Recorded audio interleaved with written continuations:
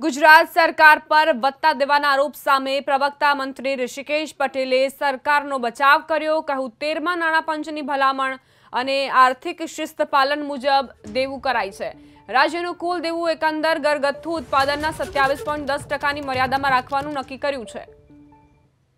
જેમ કે રાજ્યનું કુલ દેવું એકંદર ઘરગથ્થુ ઉત્પાદનના સત્યાવીસ મર્યાદામાં રાખવાનું નક્કી કર્યું. અત્યારે હાલમાં પંદર પોઈન્ટ ચોત્રીસ ટકા છે.